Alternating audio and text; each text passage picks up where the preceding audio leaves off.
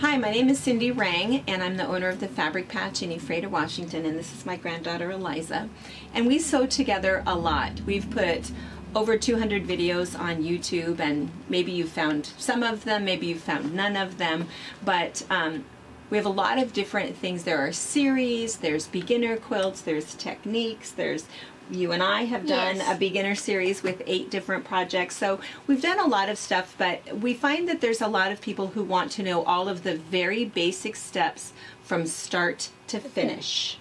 So that's what we're going to call this one. We're going to call this this video your first quilt and we're going to cover all of the basic steps from cutting to piecing to putting borders on to quilting it and finishing everything. Now, it is not really Eliza's first quilt. She's made quite a few, but she's gonna we're gonna work through this together and kind of show you all of those steps. Right? Right. Okay.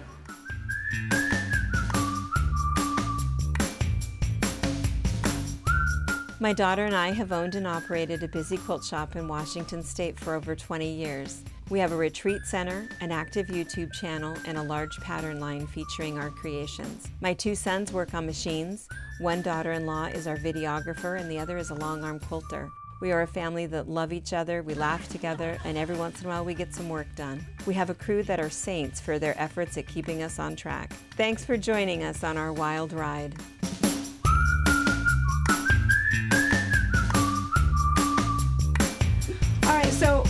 We really suggest that um, if it's your first quilt, you might consider pre-cuts because what happens is um, a lot of the fabric companies have already done the work for you. So they might go ahead and cut up some 5-inch squares for you or some 10-inch squares for you. So depending upon what size you want the quilt to be, you could do that. That's actually what we're going to do today is we're going to use pre-cuts and we're going to make a smaller one out of this really pretty pastel flannel um, pre-cuts.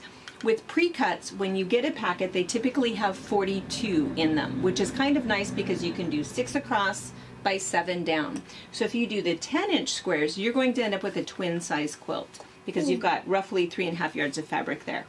If you're doing the five inch, you're going to end up with a good sized baby quilt. So it'll be nice. So, and you can always add borders and we're gonna do that. But I just want to just really briefly talk to you about some basic um, cutting principles. And so the thing with cutting is that you do need to have a good ruler that hopefully is not going to slip on you, and you need to have a rotary cutter. It's not to say that you couldn't use a template and use some scissors and cut things into squares, but now this is what we use, which is basically a razor blade on wheels. So um, this is the one that I like to use, and it'll automatically protect that blade when I'm not using it, which is kind of nice. And so the other thing you want to know is when you're cutting, you are cutting right along the edge of the ruler. And so we always position so that what we're cutting is underneath the ruler, if that makes sense. So what that means is I'm going to first cut off so that I have a nice clean edge here. And I always make sure that I've cut all the way through before I move my ruler. And so now that I've done that, I have this nice clean edge. I'm going to turn this around because I happen to be right-handed. And normally what I would do in my sewing room is I would just walk around to the other side, but just so I don't have my back to you, I'm going to flip that over.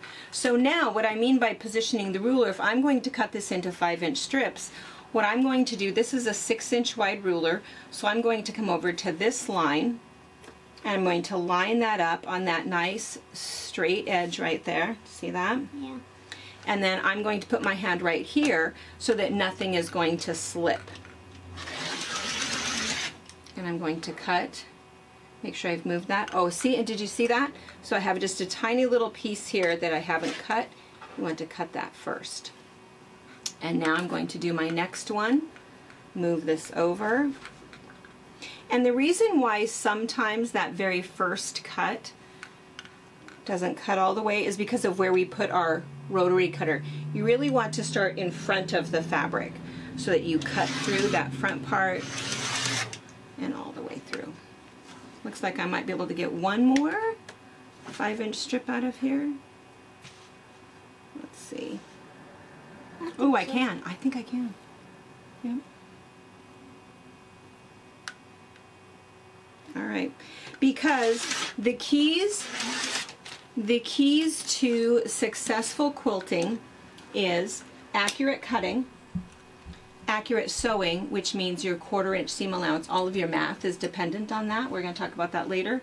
And pressing and quality fabric. But the rest of that, we're all good. Okay, so I've cut this into five inch strips. And when you're reading a pattern, what they're going to say to you is they will say cut it into strips, then cross cut.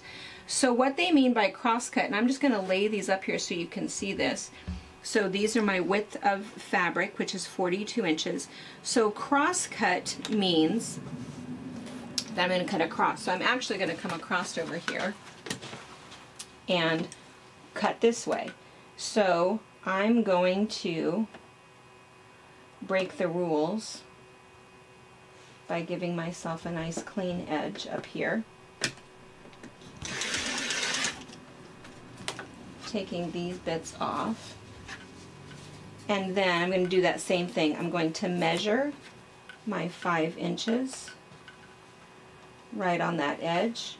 This part's on. That's okay because that's going to be that edge there. And so it's okay. What I'm looking for is I'm looking to make sure that this lines up here, these line up so that everything stays nice and square. So I'm going to cross cut and here's my five inch squares. Five inch squares, five inch squares. Oops, I have a tiny little thread. I'm going to do the same thing.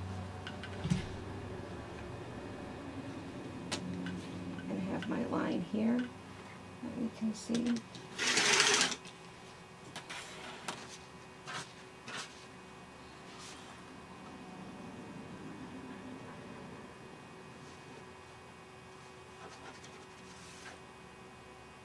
And these lines, see, lined up.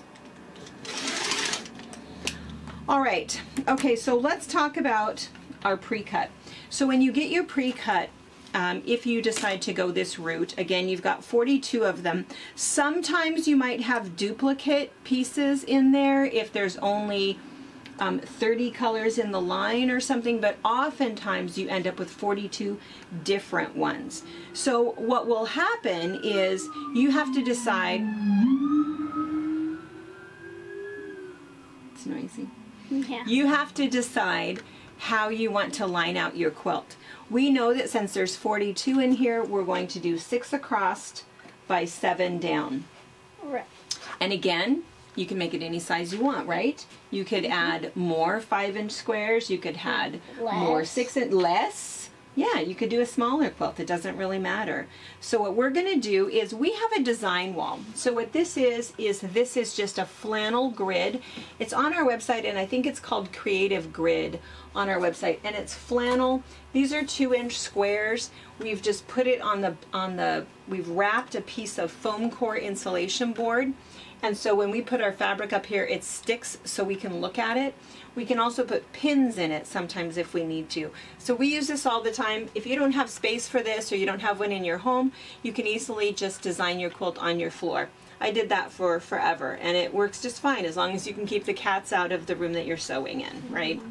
Okay, so it looks like for this particular um, pack, like it is kind. It's um, it's a it's a what's it called? Shadow play. It's a shadow play flannel, is what this is by Maywood Studios, and it looks like you've got three Three of each. of each color.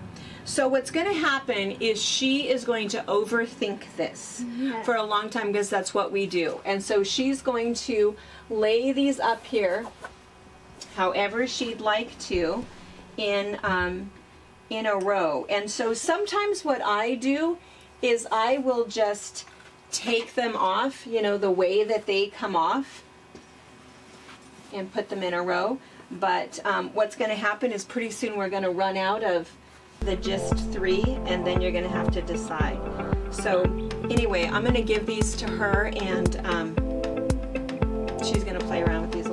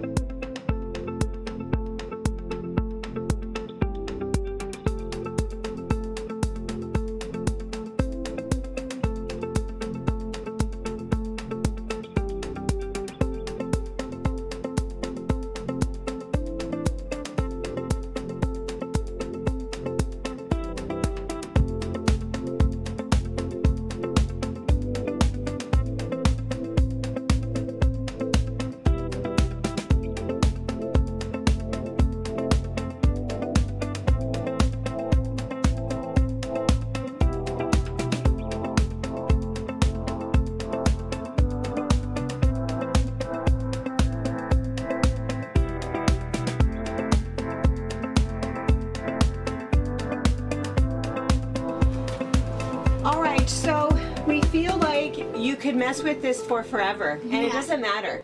You know, there's nothing that you can do wrong. You just play with it. You can put a pattern or no pattern or a color. Um, if you only pick two colors that you want to cut into squares, then that makes it kind of easy. It's almost like a checkerboard pattern, or you can do rows totally doesn't matter. This is that whole part where what's so fun about the quilt is designing it, picking your own fabrics, doing your own things. When Yeah. you have something that's pre-cut though, you have a lot of different fabrics and so You can do whatever you want. You don't Yeah. have to wait a long. time. yeah. So it's kind of fun just to lay it all out. Doesn't make any difference, gonna be kind of fun. So this is the design that she's um, that she's picked. So now what's going to happen is we're going to sew the rows together. So there are multiple ways to do this, and um, we did a we did a quilt called size nine shoe, and in that one we show you how to sew something together where when you're kind of sewing through a row you chain piece and it leaves a little piece. And so sometimes when I sew a quilt like this together I will do that but if it's your first project we aren't going to recommend that what we're going to do instead is Eliza is going to sew her top row together so she's going to sew this seam then this seam then, that this seam, then yeah seam, seam. and then when she presses it, we're going to show you up close how she presses, but we're going to press all of the seams going one direction. Then she's going to sew the next row and she's going to press all of those seams going the opposite direction because there's something called nestling and we'll show you how that works.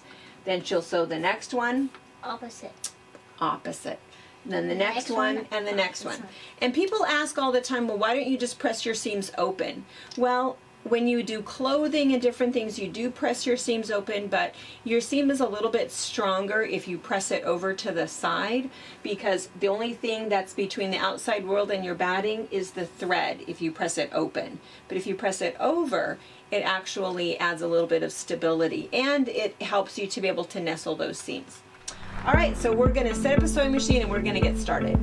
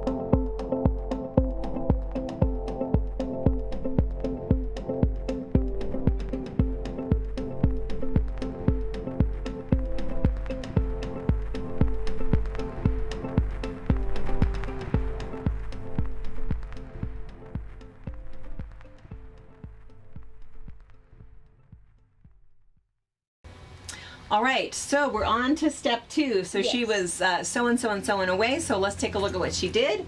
So what she did was what we talked about in the last time was she sewed all of her rows together. And after she sewed all of her rows together, what she did was she pressed them to one side. So I'm going to flip these over so you can see these are pressed this way. We'll just do a couple of them. These then are pressed Mm, oh, let me get that to stick there, are pressed that way. that way. And that goes all the way down. Now, she went ahead and used black thread. Part of that is because it was what was in the machine, frankly. Yeah. The other part is so that you'd be able to see her quarter inch seam allowance. But when we talk about thread, you know, the most important thing is to make sure you have a good quality thread and that your seam allowance is correct and that your stitch length is correct. If you can see the thread color that you used, you've already got stitch problems. You could either have tension problems or maybe your stitches are too big. So even though she used black thread with pastel, you can't see it. She's going to do a little clipping. It's all going to be okay. So it's not a huge deal. And I've told everybody that I use white, kind of a banana color, a light gray, a dark gray, and black. Those are about the only color of threads that I ever use, and so it doesn't really matter. So anyway, so now that she's done this and she's done her rows, now it's time to go ahead and sew these together. But I want to mention they may have seen you use these little guys. So if you saw this, um, these are called thermal thimbles. So if you were wondering what they were, the way that I use them, you get three in a set. So there's a big one for a thumb, there's one for your index finger, and one for your middle finger. I think you were using like what, six or something? Four. Four. She was using four. But what they're for is you put them on tight, and then what happens is they're, um, as you're pressing, when you're using your iron and you're holding your seam or you're doing something different or you're flipping something over, that way, um, if the iron gets a little bit close to your finger, you don't burn your finger. So it's weird the way they work. It seems Yeah. like they would plas- that they're plastic. It seems like they would melt Yeah. They don't melt. That's what they're for is they're i mean i wouldn't you know but but they they work really well. I know yeah you wouldn't want to do that. But they work great so that's what they're for actually melt it. yeah the other thing that i will use them for sometimes is when i'm doing hand stitching and you know when your needle kind of gets stuck because you've Yeah. used a little too small of a needle or you have a lot of thick thread um, they're kind of grippy so it'll help you to grab that needle to pull that needle out. So they're kind of fun they're inexpensive i don't know what they are five bucks maybe six i don't know what they are for um, a set of three. So they're kind of nice. So that's what those were. All right, so her next step is she's going to sew these rows together. So when she sews these rows together, what she's going to do is do the top two rows and she's going to nestle her seams. So what will happen is if we do a little close up, what happens is you can see here, let me trim that little thread off so you can see it a little bit better. So what happens when you nestle is one seam, one pressing goes one way, one goes the other way. And so then what happens is um, it'll kind of lock in place right there.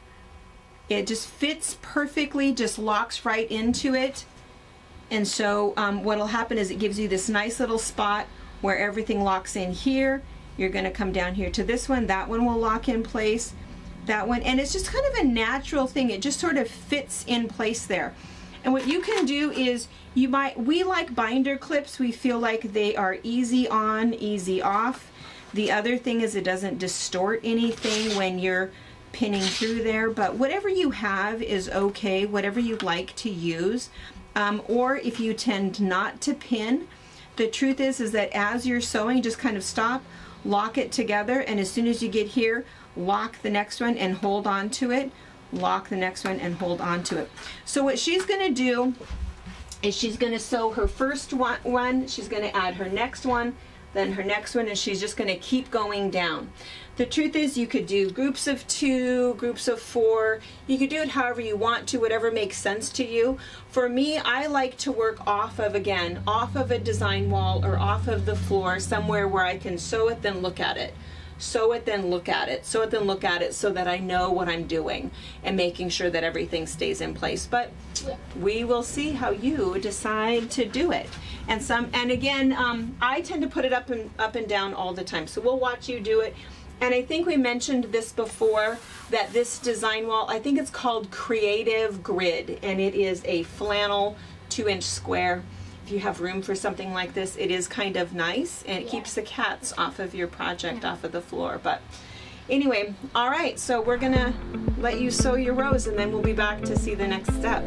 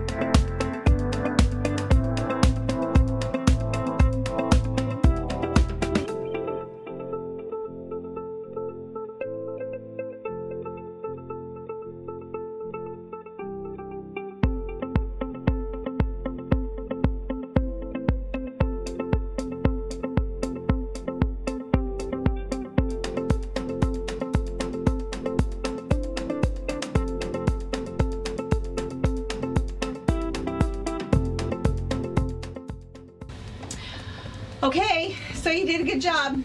So we got them all sewn together. So this is a good time to mention that what she was working on was five inch squares. Right. So five inch pre-cut squares means that her quilt right now with all of them sewn together is roughly about 28 inches by about what 32 inches or something like that. So um, because that's all you're working with is a few five inch squares. If you were going to do 10 inch squares, you would end up with a quilt that's about what 55 by 65. So a lot of it depends on the pre-cuts that you're using, or if you're cutting your own squares and you're doing six inch or seven inch. But anyway, so what's going to happen is depending upon what you're doing with the quilt, you'll add borders, or you might be done with it. But we have a whole video about borders. It's probably, gosh, it's got to be 30, maybe 45 minutes long, and we talk about measuring and why it's important to measure. We talk about options for borders. One thing that I think is kind of important though is that if you put your quilt together and you wish it were bigger, you certainly have an opportunity to put a bunch of borders on it. But if all of a sudden you do a 10 inch border all the way around, it's going to be obvious that you wish you would have had more squares, if that makes sense, right? Because if you have a great big border, it's not going to be as interesting as your pieced quilt. So this is just a small little quilt. It's not going to be bigger unless you get another charm pack and add more rows, Which right? You don't don't want to. wanna do. No, no. You can do that with like 10 inch squares to make Yeah. something a whole lot bigger. All right.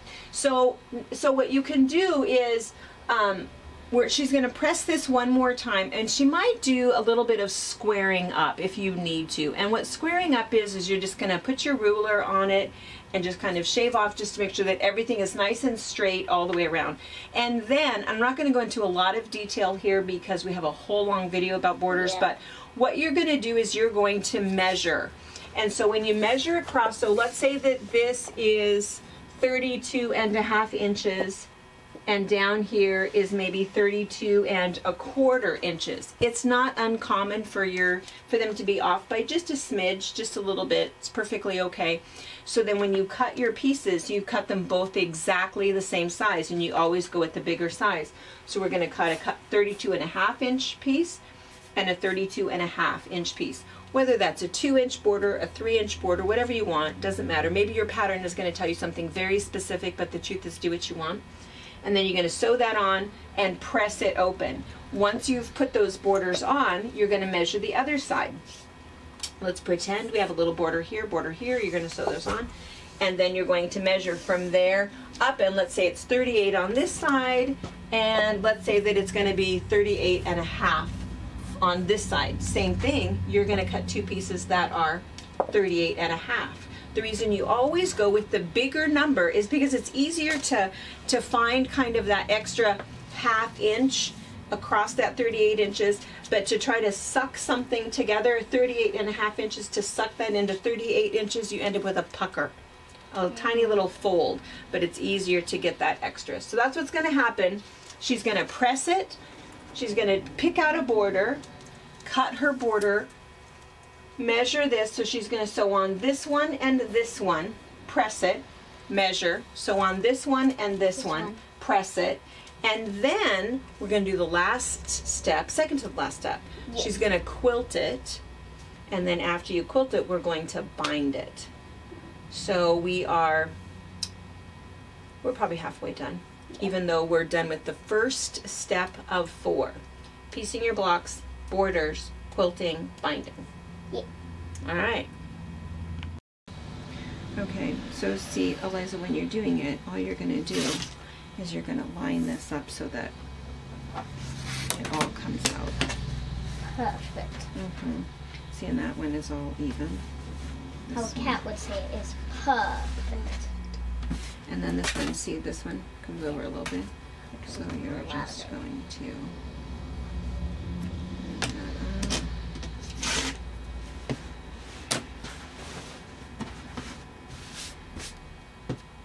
Same thing here. So see, you're lining up this way.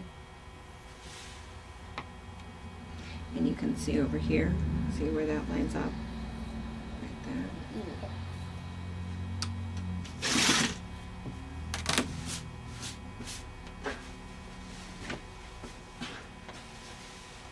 Okay. When you're squaring up, the big thing when you're squaring up is to keep your quilt square. That's why they're calling it that. Is that everything stays nice and square. And if there's weird little hangover bits from a row that just got a little bit wonky, Yeah. sometimes that happens, doesn't really matter. We're just gonna kind of clean that up a little bit. So, um, what you do is you lay your ruler down so that you can see the edge and while you're doing that you're also looking over here to make sure that a seam that's straight you can find another line so that you can see that this is straight here this is all straight here this is straight where I've cut so that you're keeping it square which is why they're calling it squaring up so all you're doing is when you're cutting that then you're just trimming off those weird little wonky bits Yeah. that just kind of got away from us. So that's what's happening. So she's done that, and so now we're going to go ahead and measure and see where we ended up. So let's see here. Oops.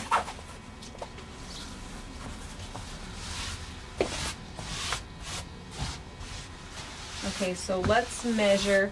And the only reason for this small quilt, the only reason that we're measuring the lengthwise first is because um, we can do that all in four strips of fabric. Because we're going to do one strip of fabric here because we've got about 42 inches to play with, one here, one on this side, and one on that side. If you did your short ends first, you might be piecing a border, if that makes sense. Does that make sense? All right, so let's go ahead and measure this bottom one. Want me to help you? Yeah. And then we could probably fast forward through this part. So we are at Thirty-two. 32 and an eighth, I'd say. Yeah. And then this one. Thirty-two and an eight. That's what we. right, That was W. 32 and an eighth. It's the same. After we squared it up. Fantastic. Yeah. So every once in a while, a quilt will come out exact. So it did. Yeah. So that's pretty good. So 32 and an eighth is her magic number. So the two strips that we cut will be the same size. Um, and again, if they don't come out the same, that is perfectly normal. And so then what would happen is you would choose your larger number. And you've decided on a, what did you decide, three inch? Two inch? Two inch. Cut two and a half? Yeah. All right, so we're gonna do two borders. I'm just gonna cut these for you real fast. Two Right, so we're doing, we're gonna do two strips. And I'm gonna show them how to cut it.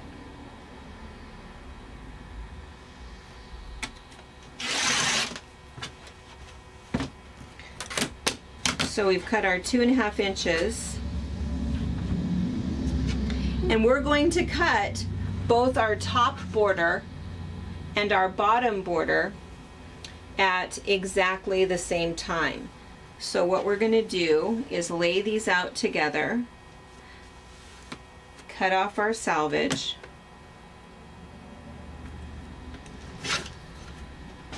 and now we're going to measure 32 and an eighth.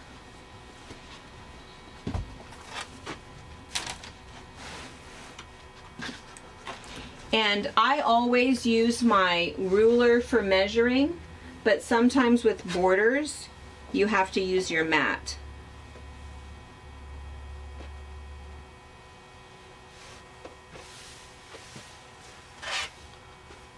So 32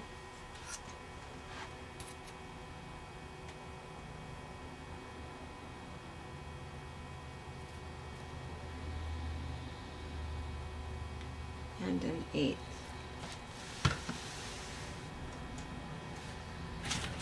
Ooh, I did not want to I know I'm right on the edge. cut with.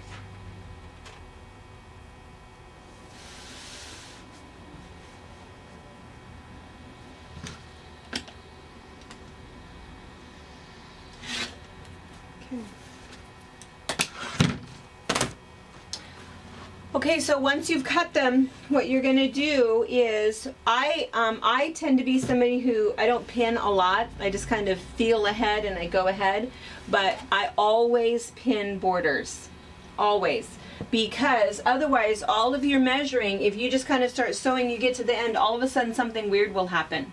We don't know what it is, but it does, and so I always pin it. And again, you can pin, or do you like pin or do you like clips? Clips. You like clips?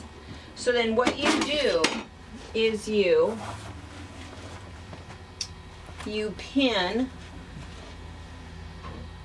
right at the edge one side Or and then you the pin on the other side. yep so that you know and then usually I'll also do in the center. And depending upon how long the border is I might um, put five or seven or whatever for this one. And now I'm also going to put one right here. Do two more.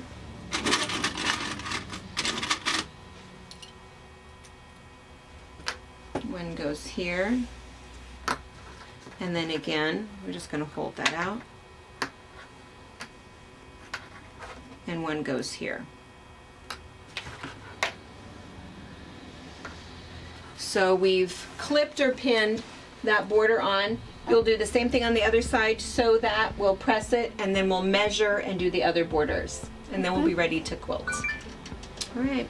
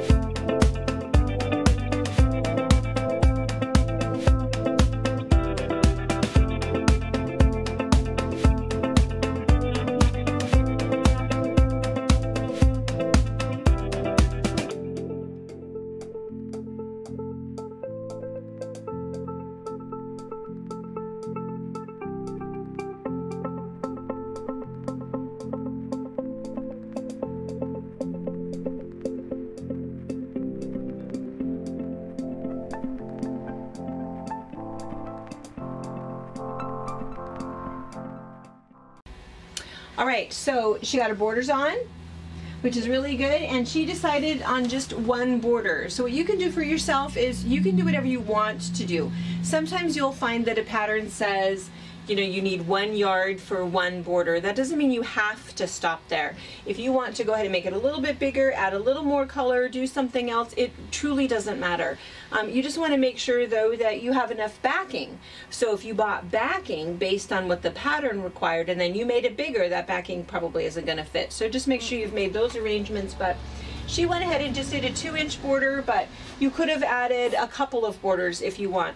There is a little rule about borders, and we mentioned it in that video, and I think I talked about it earlier also that um, if you've only pieced some small blocks, but you really do want it to be bigger, um, it's not that you couldn't add 10 inches worth of borders, you just have to make sure that there's um, there's, there's that there's a lot going on. So Yeah. you might have a two inch border and then a four inch border and then another three inch border or something like that. And as long as it looks pieced, it'll look interesting. But if you just put Yeah.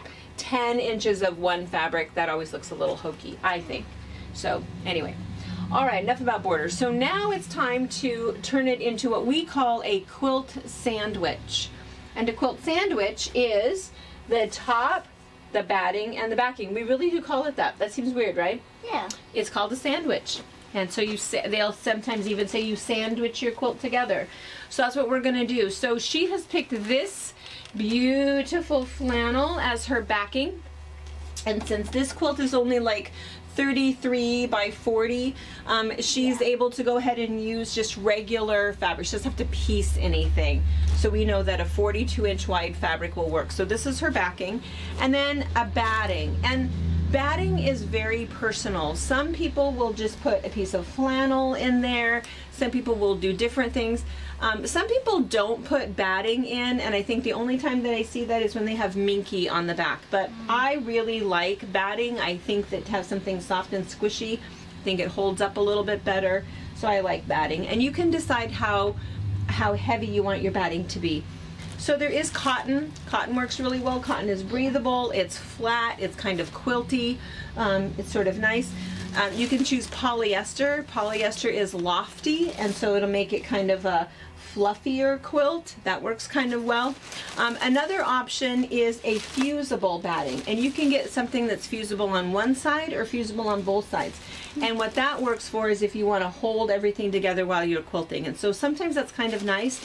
Um, I'll kind of show you how that works, but all that little fusible stuff, it does wash out. It's not it's not harmful in any way. It just makes it a little bit easier. So when we get to that part, we'll show you.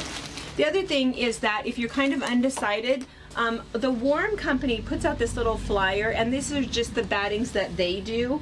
Um, but um, there's other companies that make batting, but you can kind of feel the different um, thicknesses of cotton, the different thicknesses of batting, and it'll also kind of describe it. They give these to us for free. If you order something from us, just put in the notes that you'd like a flyer, and um, we'll throw one in for you. And it talks about how far far apart you want the quilting.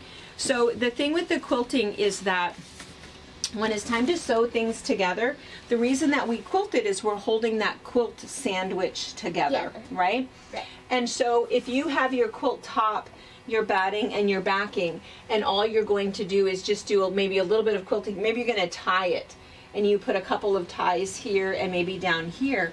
What happens is the quilt kind of shifts a little bit, and so um, it it just doesn't look it doesn't look right because the top will move. And sometimes the batting even in the inside will move a little bit if you've ever had a quilt and after it's been washed multiple times you feel that you have this funny little wad of batting down in you've Yeah. probably never have you ever seen a quilt like that before mm-hmm. no because you have quilters in your family Yes. but other people, you might go to somebody else's house and you'll find this funny little wad of something down in the corner of the quilt. It's because they didn't quilt it enough. And if you don't quilt it enough to hold that batting where it's supposed to go, it will fall down to the corner after you've washed it, I don't know, five, six times, seven, eight times, a while. But eventually what'll happen is it kind of falls apart. And so that's why you have to quilt it. And that's what this little thing will tell you is it does tell you kind of how far apart. But as a, general reference, reference, you probably want within five inches. And so I just kind of think about using your hand. And so with this, as long as you're kind of quilting on the lines or near the lines, if you were going to tie it, you could tie at each of the corners. If you're going to quilt stitching in the ditch, you could do that. You could do a bunch of different things, but you just want to make it close enough together that it holds that quilt sandwich all stays together. Does that make sense? Yeah. Okay. All right, we're going to clean this up for a second. We're going to lay it out. Okay, so what we did is uh, Eliza selected the polyester batting, which is again kind of a little bit lofty. And so you just always want to make sure that you have I don't know, six to eight inches extra all the way around because when you start pinning and you start quilting, things will kind of drift just a little bit, they slip just a little bit. So you just want to make sure you have that extra space and then you'll end up trimming that off afterwards and we'll show you that.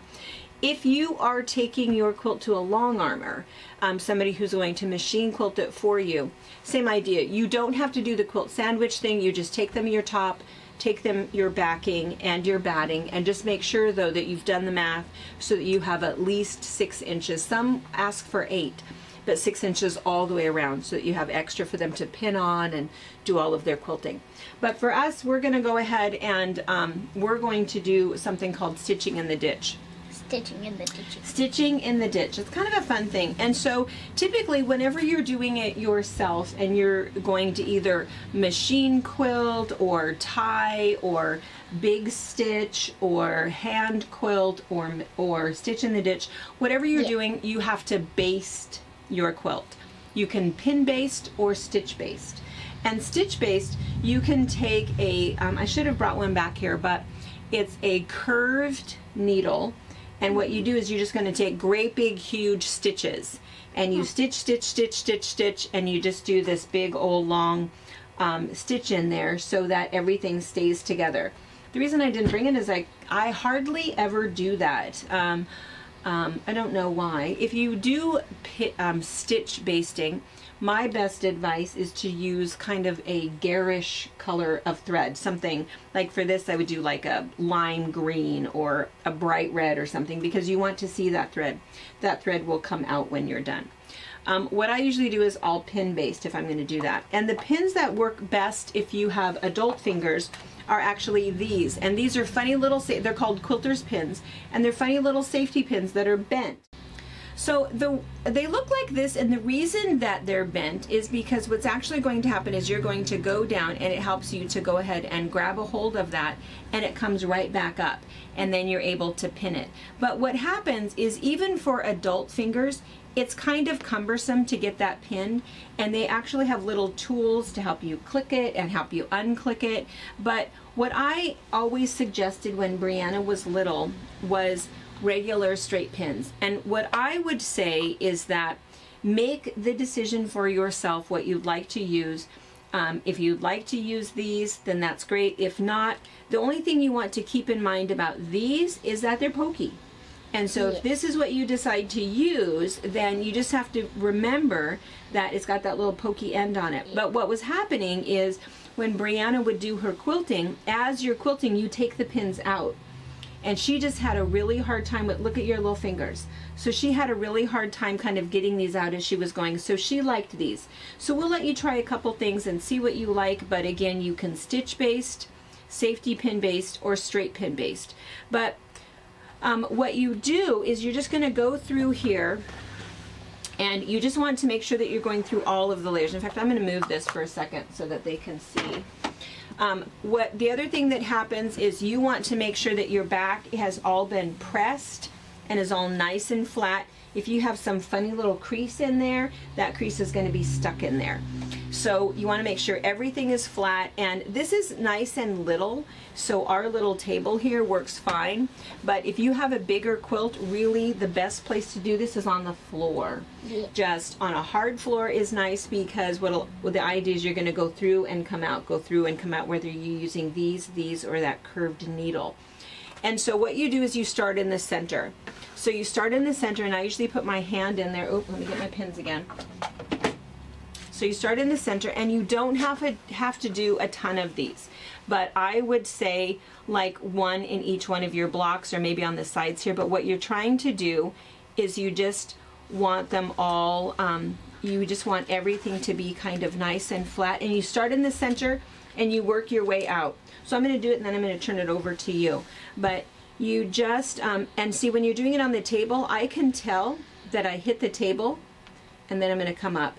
And the best thing is to make sure all of your points are going one direction so that you'll know not to run your hand this way or you could be poked. And see, they're kind of deep in there, so it's not going to be super terrible. But you just come out about a hand's width and you just kind of smooth everything and see I've got them about a hand's width apart And I'm just going from the center, All over the place. yeah, and working out. And we'll just have to see what you think, what you like the best. We're just smoothing it.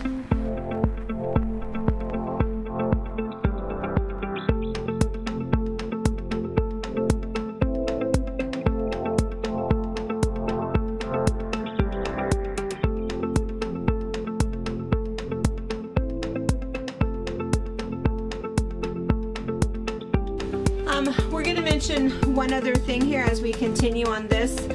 My grandmother, and the reason she always used the straight pins was because it was what she had. Um, she wasn't going to invest in some, you know, newfangled fancy things. Yeah. But what she would do is she would then bury her point.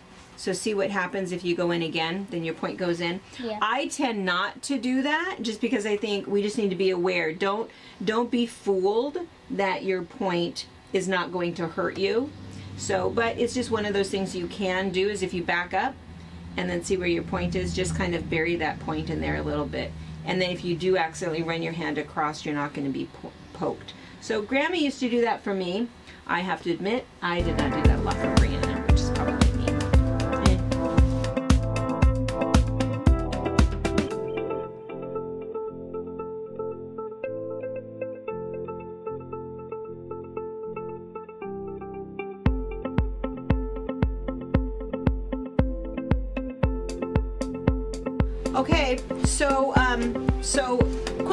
If we didn't measure this before, quilting pins tend to be an inch and three quarter. You can also get two inch pins, and so um, again, we always have them on hand. That's why we kind of like it. It seems to work well, but we always suggest that you choose the tool that works best for you, and whatever gives you the best results. Um, um, you don't necessarily have to buy those little bent pins if you don't want them, but again, there's pros and cons both ways.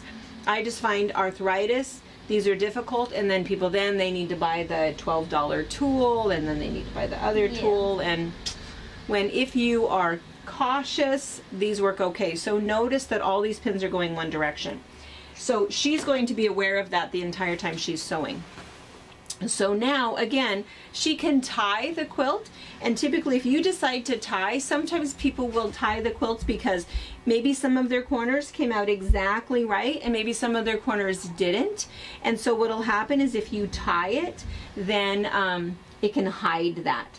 Um, The other thing is some people might decide to machine quilt, and we did a little series on I think it's called How to Finish or Now It's Time to Finish Your Quilt or whatever. And I think we did seven different mug rugs and I did seven different. I did a big stitch, a hand quilting, stitch in the ditch, um, free motion machine. I don't know.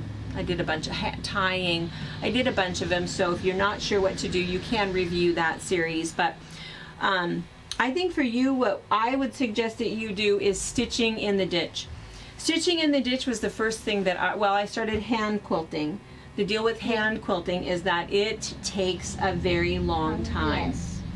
And if you're doing something small, that's fine, but oftentimes somebody's first quilt is kind of a big bed quilt and you know, if it takes you a year to finish it, you're not so sure you like quilting, right? So stitching in the ditch is kind of fun. It's pretty easy to do and um, that's what I'm going to suggest for you. I did that a lot before I got the long arm, and Brianna did that a lot. That was what we did mostly because it holds the quilt together really well.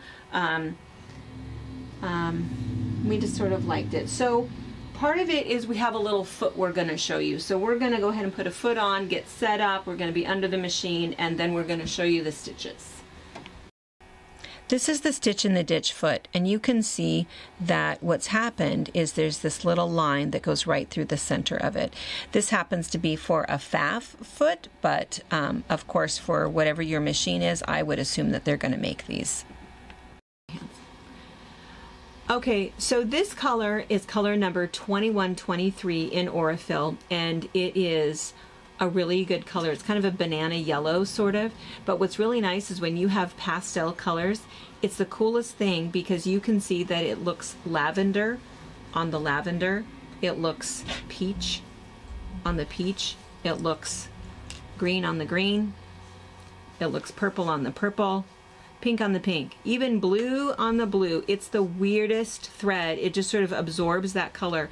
There is a gray one, I think it's color number 2026, um, a dark gray that does the same thing for all of your dark colors. So if you have a quilt that has brown, um, navy blue, purple, those sorts of things. It does the same thing. It just sort of absorbs the color. So this pale banana yellow and a slate gray are the two best colors for your top stitching.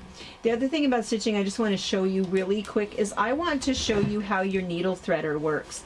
Now, again, we sew on a Pfaff. This happens to be a Pfaff 3.0, but all of our Pfaff machines, um, every single one has the exact same needle threader and I've seen this same needle threader on Vikings and Husqvarnas and Brothers. And so people say all the time oh gosh I never knew how that thing worked. So let me just kind of show you oops I got a little tangled here. So once you are threaded and you're down to the needle um, what you do is you pull this thing down. And the thing that you want to know is your needle has to be in the up position. And what the machine says is up so don't reach over and touch your hand wheel. Just hit your needle up position or as soon as you turn it on and it kind of, you know, loads and stops in its up position, that's where this thing is set. So um, if not, if you turn this and your needle is not in the right spot, there's a little filament in there that will break and then it doesn't work. Your local dealer can fix that. It takes just a second to fix and he just has to replace that little part in there. Anyway, so what you do is you come down and see over here, there's a little hook. You're going to come over and you're going to hook your thread right there. And then you're going to come down all the way and push that down. There's a little spring. Push that down. As you push that down, you can see that this thing butts right up against your needle. And you can see there's two, there's little teeth. There's teeth on one side and on the other side. So I'm just going to come back over. Hold on, my thread came out. I'm going to push that down and we're going to go right underneath those teeth and as soon as I let go, it has pulled the thread through to the back. So then I just have to reach in, pull that, I have a super long thread, and I'm good to go. And my needle is threaded. So that's how you use your needle threader. All right, so I have my needle threaded with my special thread. And then what's gonna happen is first, and I have the stitch in the ditch needle on here. The other thing I should have mentioned is that we had talked about that fusible batting. This is the other reason why people like fusible batting. Um, and it comes in all sizes, but if you just wanted to press everything down or use spray baste it, like um, Sullivan's has one, um, um, what's the other one called? 950? 59. 505. 505. I uh, you can tell I don't use that very often. 505 works good. Um, so there's a bunch of other there's a bunch of things to try to make basting easier. All right, so now Eliza's going to be stitching in the ditch. So what you do want to do is just like you're pinning from the center, you're going to start stitching in the center. And what happens with this with this um, foot is that as soon as you start stitching, oh, that's right, your pedal is in a weird place. As soon as you start stitching, see that little guy right there? And Eliza, where are you? You coming up here looking? So what's happening is as you're stitching, that is just going to ride right in the center, and that's right where your needle is. So you're just going to stitch down, and what's going to happen is you're going to come down this way, to turn around, go up the other way, turn around, go down the other way, and you're going to do all of your um, horizontal rows or vertical rows and then you're going to turn around and do the other side. So what you want to know is that these pins you they're going to point in all different directions. So they're going to first point towards you, then maybe they're going to point away from you, at some point they're going to point to the side. As you get down closer and as you've come and you've done most of your side ones, you can go ahead and take those out. It's just to make sure that everything stays where it's supposed to. And oftentimes when I'm working my way down, I'm just going to kind of smooth that out so that I know that underneath everything is going together. And so again, all I'm going to do is I'm just going to stitch down that way. Um, the other thing that sometimes I'll do is I actually do make a little bigger stitch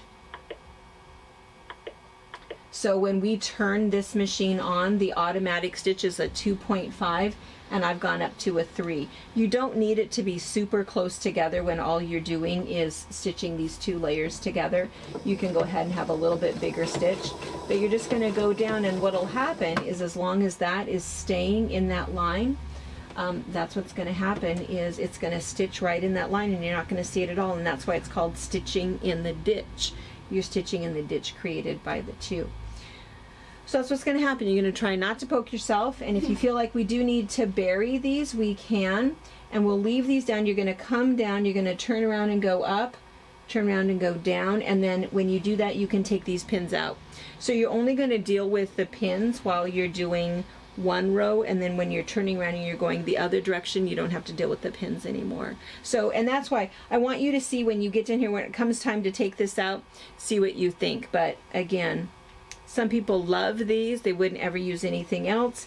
Some people love these, wouldn't use anything else. Some people just don't want to mess with either one and they do the fusible batting. So it's just good to know. All right, I'm going to turn it over to you. I'm going to stand here and watch you a little bit.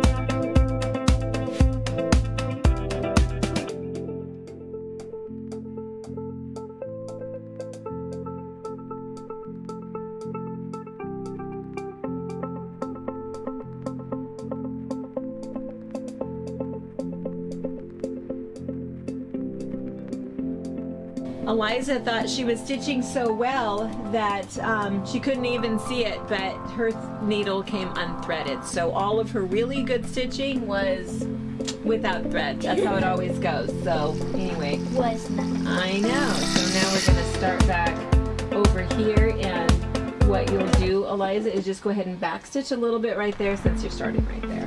Okay. Okay. And then we took those taking those pins out, but I feel like you'll probably be okay. Just kind of keep it kind of smooth right there. And I think, yeah, you'll be all right. Just only go a little bit and then, yeah, just make sure you're not pulling anything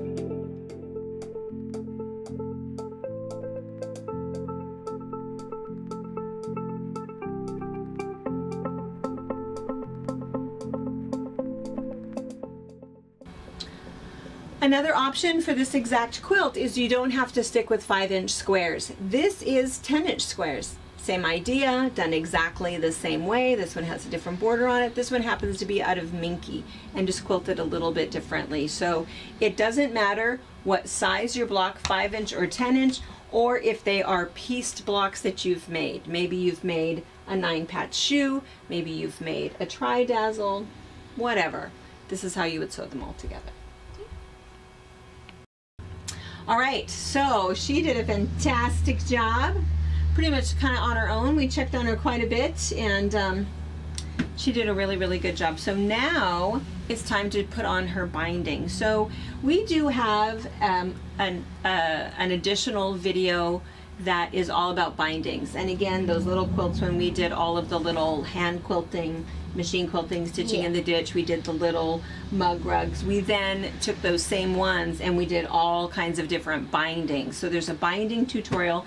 And if you want something a little bit more specific, you can kind of look through there and decide what you want to do. We want to show you our two favorites. One favorite is bringing our backing over to be part of our binding. And if you do that, what you need to do is you'd need a pair of scissors and you're just going to come along and you're going to cut the binding off first. I mean the batting the batting off first. And you just want to be kind of careful when you cut that. And um, you can throw away little bits that aren't going to be anything, but sometimes you end up with a piece that's big enough for a mug rug or a coaster. So we kind of hang on to those, of course, because that's what quilters do is hold on to bits of fabric. Um, and then once you do that, what you would do, and you would do that all the way around, and then you would lay your ruler out and a lot of it sort of depends. For me the magic number is one inch. And i'm just going to do a tiny little bit of this. This is not what she chose to do but i just want to show you that what you would do is you would line this up cut out an inch and you would do the same thing all the way around. I'm just going to go ahead and cut this off to get it out of the way it's an odd shape for my hand and then what you end up doing is you just fold this over and fold this over. Put your little binder clips on it and then all you have to do then is just sew right on that, just kind of close to that and sew the whole thing down and you have something that looks like this double fold binding. That's adorable. Yeah. Right, it's kind of cute. So that is an option. Um, the other option is you just do the same thing, except what you would do is you cut everything off, cut your binding. I think this is what she's prepared. Maybe she's Yeah. changing her mind, but um, she's picked this, and then you just cut this two and a half inches, sew it on, or again, there's a couple other options, but the binding is that last step.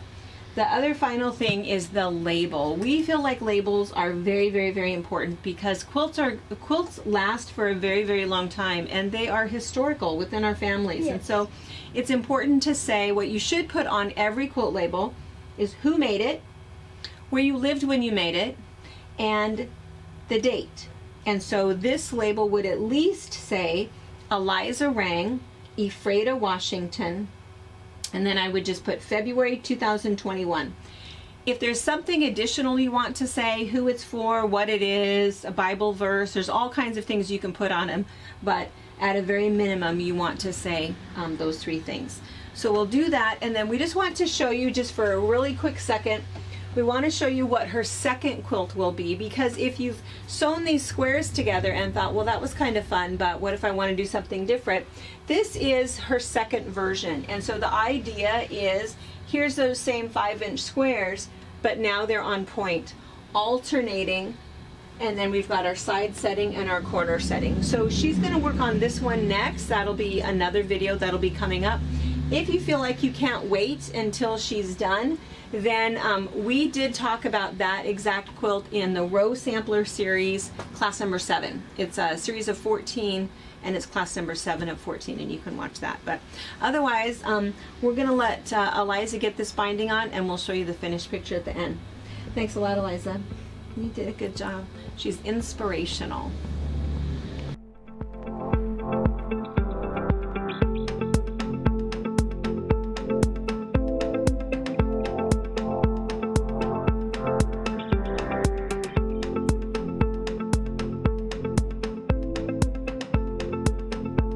You for watching our video. We invite you to leave a comment, hit the like button, or better yet, subscribe to our channel so you never miss an episode. You can also visit our Instagram, Twitter, Facebook, or Pinterest pages, or find all of those things and our online store at fabricpatch.net.